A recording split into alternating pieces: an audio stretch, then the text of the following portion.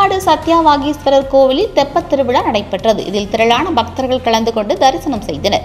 நெல்லை மாவட்டம் களக்காட்டில் ஆண்டுதோறும் தை மாதம் மூன்று நாட்கள் தெப்ப உற்சவம் வெகு விமர்சையாக நடத்தப்படுவது வழக்கம். அதன்படி நடப்பாண்டு திருவிழா கோலாகலத்துடன் தொடங்கியது. முதல் நாளன்று ஆயிரம் ஆண்டுகளுக்கு முற்பட்ட பழமை வாய்ந்த ஸ்ரீ சத்யாவாகீஸ்வரர் கோமதியம்பாள் திருக்கோவில் தெப்ப உற்சவம் நடைபெற்றது. இதனையொட்டி சத்யாவாகீஸ்வரர் கோமதியம்பாள் கோவிலிலிருந்து வாகனத்தில் எழுந்தருளி ரத வீதிகள் வழியாக விழா நடைபெறும் தெப்பக்குளத்திற்கு கோவிலுக்கு வந்தனர் அங்கு சுவாமி அம்பாளுக்கு சிறப்பு அபிஷேகங்களும் அலங்கார தீபாராதனைகளும் நடத்தப்பட்டது.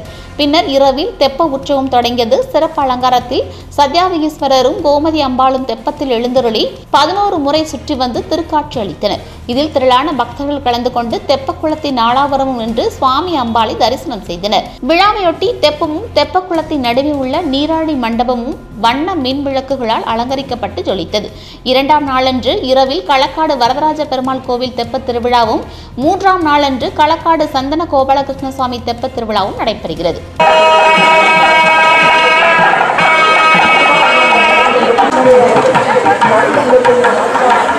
மாமாப்பா போய் பிடிக்காது